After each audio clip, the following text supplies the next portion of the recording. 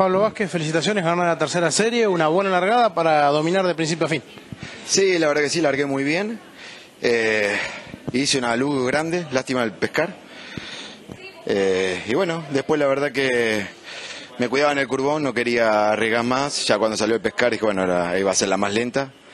Pero bueno, feliz, le quería dar esta victoria a mi viejo, lo tengo internado hace muchos días.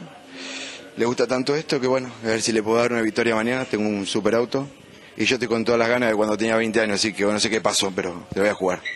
Pablo, eh, ¿cómo fue el ritmo de la serie, más allá de- del pescar, que eso lo corta un poco, pero el auto se mostró firme como para ex- la exigencia de lo que va a ser una final? Y las dos primeras vueltas, o si los chicos venían complicados, le hice mucho, ¿viste? Y no me podían agarrar ni el viento, así que creo que tengo un buen auto. ¿En el final ayudó que se despistaran Fineski y Dufour?